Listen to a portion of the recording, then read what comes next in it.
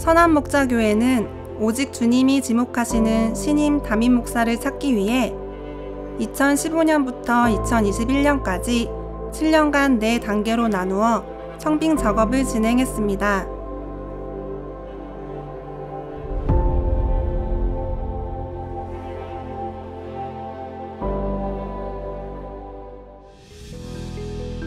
비전연구소가 3년간 조사한 한국교회 담임 목사 청빙 연구를 토대로 선한 목자교회만의 담임 목사 청빙 절차를 수립하였습니다.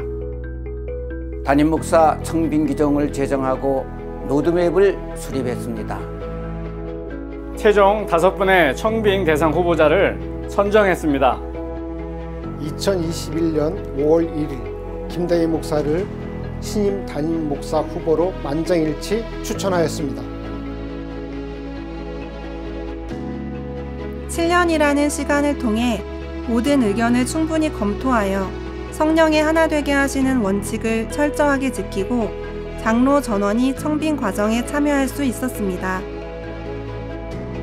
성남목자교회 한국교회에서 너무나 귀에 있으시고 또한 중심된 교회인데 과연 제가 그것을 잘 감당할 수 있을까라는 어떤 그런 마음도 드는 것이 사실입니다. 내가 숨을 주면 숨을 쉬게 되는 거니까 나와 함께 숨 쉬며 가는 이 길을 시작하자. 앞으로 갈 길이 많은데 급히 가려 하지 말고 나와 함께 숨 쉬는 거야. 주님, 제가 너무 급했습니다.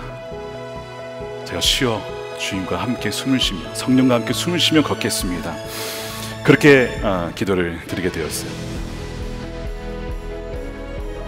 하나님께서는 이 모든 과정을 통해 주님이 기뻐하시는 담임 목회자를 향한 주님의 마음을 알게 하셨습니다.